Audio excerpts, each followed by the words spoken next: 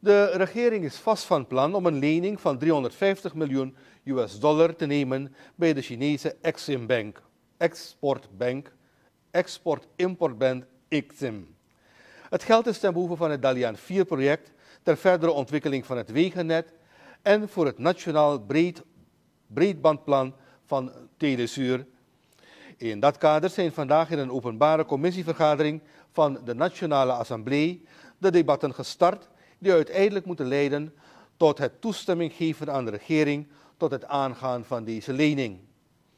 Op de agenda stond de bespreking van de ontwerpwet voor machtiging van de minister van Financiën tot afwijking van het obligo-plafond voor de staatsschuld als bedoeld in de wet op de staatsschuld. Amzad Abdul, voorzitter van de commissie van rapporteurs, deed alvast het verzoek om de minister van Financiën te machtigen, de machtiging te verlenen het obligo-plafond te verhogen ten einde de lening te kunnen aangaan. Met name het Dalian-project heeft zijn nut reeds bewezen, zegt Abdul. Dit project is een meerjarenproject. Het zal 36 maanden duren. De financiële voordelen van dit project en wat het zal betekenen voor het BBP, dat kan door de minister van Financiën aan ons worden uitgelegd.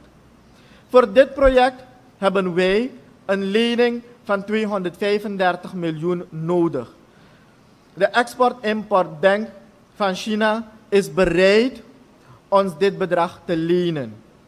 Mijn vraag is dan, als de Chinese overheid weet wat de stand van onze huidige staatsschuld is, en ondanks dat dit bedrag aan ons wil lenen, wil dat zeggen dat zij er volledig van overtuigd zijn dat wij over de capaciteit beschikken om deze lening terug te betalen. Dan denk ik, en dat stel ik mezelf ook de vraag, zou een bank ooit aan een, aan een land geld willen lenen als de bank er niet van overtuigd zou zijn dat de lening terugbetaald kan worden? Het schuldplafond dat gesteld is op 60% van het bruto binnenlands product, BBP, zal worden overschreden vanwege de ongunstige ontwikkelingen van de economie. Zo staat in de ontwerpwet waarin de machtiging wordt gevraagd. De overeenkomst met de, met de China Exim Bank heeft een looptijd van 20 jaar met een grace period van 5 jaar tegen een rente van 2% per jaar. Commissievoorzitter Abdul verduidelijkt dat met name bij de lening ten behoeve van het Dalian-project het totaalbedrag van 235 miljoen US dollar niet in één keer zal worden opgenomen bij de Exim Bank. Ik begrijp dat bij deze we ook niet direct kunnen zeggen dat de staatsschuld met 235 miljoen zal stijgen.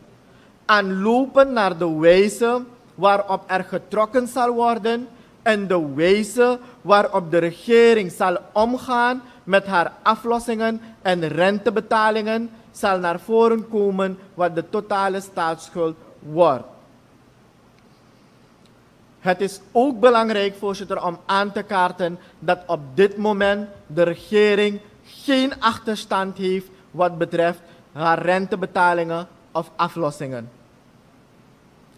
Indien de regering besluit om voorlopig niet te trekken en eerst haar schuldverplichtingen af te lossen, dan mag de regering nog altijd naar eigen inzichten lenen, zolang zij beneden het obligo-plafond blijven. Voorzitter, laat mij u zeggen dat ik zeker niet eens ben met een heleboel dingen die door de voorzitter van de commissie van rapporteurs hier aan de orde zijn gesteld. Echter hebben we nog tijd nodig om zaken goed te laten bezinken voordat we daarop reageren, voorzitter. Voorzitter, ik heb concreet enkele kleine vragen. En ik neem aan dat er een registratieplicht is voor elke lening die wordt aangegaan. En concreet moet de regering kunnen aangeven, voorzitter, wat de staatsschuld is.